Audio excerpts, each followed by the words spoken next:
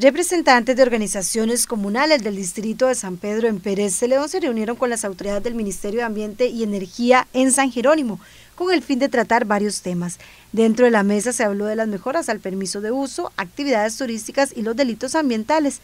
Estuvieron presentes el ministro Carlos Manuel Rodríguez, la viceministra de Recursos Naturales Pamela Castillo, la directora del Sistema Nacional de Áreas de Conservación Gretel Vega y el director del Área de Conservación La Amistad Pacífico Ronald Chang.